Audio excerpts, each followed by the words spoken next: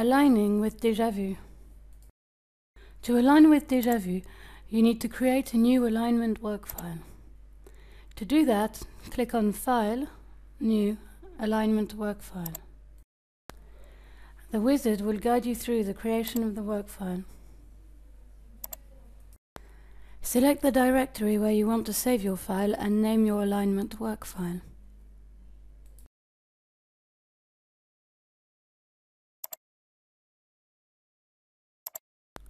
Select the language of your source files.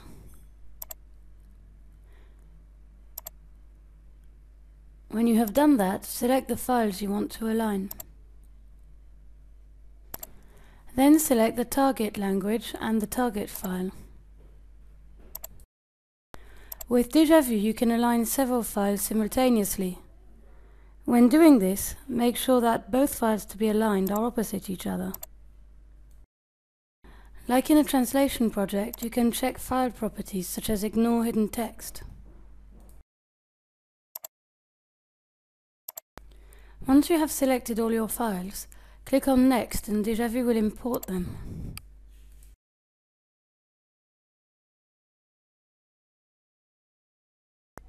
You can now select the client and the subjects of your files.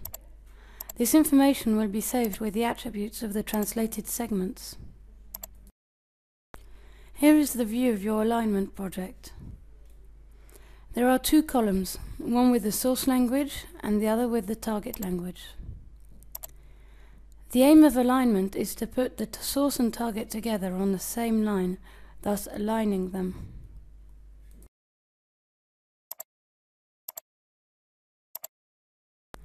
You need to check that the text always matches. In this case, for example, the quotation mark is in a separate segment. Below each column, there are five buttons. Join, Split, Move Up, Move Down and Delete. Here I need to join the segment so that the quotation mark appears at the end of the segment. To do that, click on the top segment and click on Join.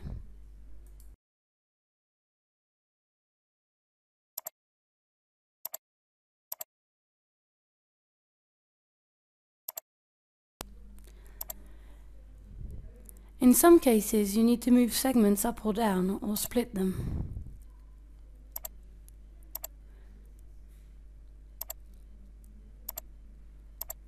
In this example, you can either join a segment in the target or split it in the source. To split it, place the cursor on where you want to split the sentence and click on Split.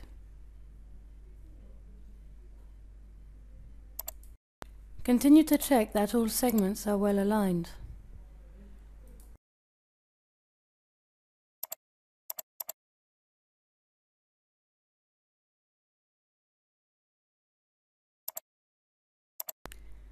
At this stage, you notice that there is one sentence too many in the source.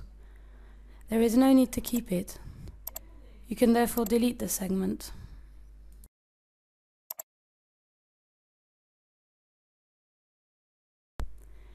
When you are aligning, you may encounter some terms you want to enter in your database.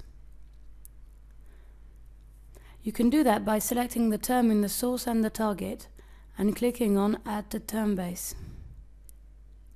You can either select an existing database or create a term base. Deja will then send the terms to your terminology database.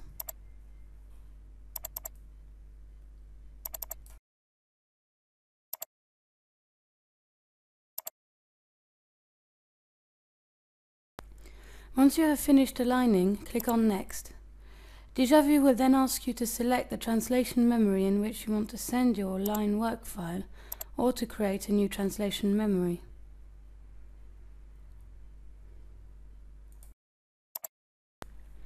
Then Deja Vu sends all the segments to your translation memory.